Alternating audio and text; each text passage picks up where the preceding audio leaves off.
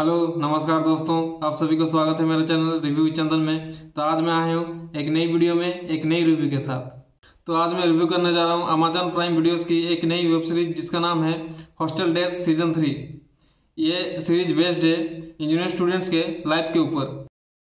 ये एक फिक्शनल कहानी है।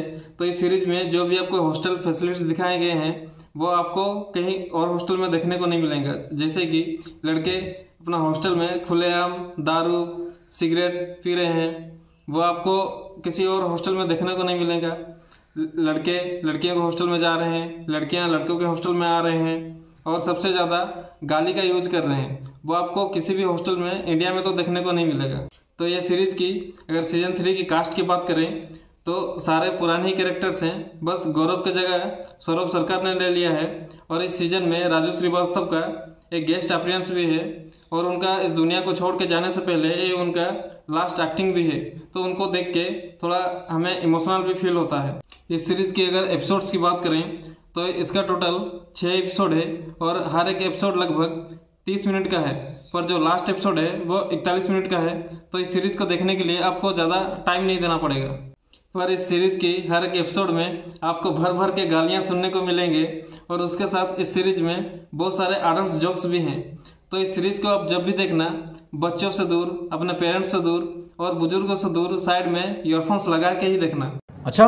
इस सीरीज़ की अगर पॉजिटिव पॉइंट्स की बात करें तो पहला सब एक्टर्स के एक्टिंग बढ़िया थे पर मुझे सबसे ज़्यादा निखिल विजय आज झाटू एंड लव आज चिराग बंसल उन दोनों के एक्टिंग बहुत बढ़िया लगे।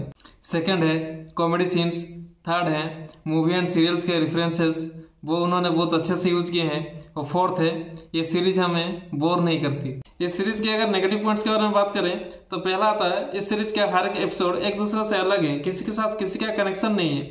बस लास्ट के दो एपिसोड एक दूसरे से कनेक्टेड हैं। और सेकेंड नेगेटिव पॉइंट है, इस सीरीज़ में बहुत सारे गालियाँ हैं।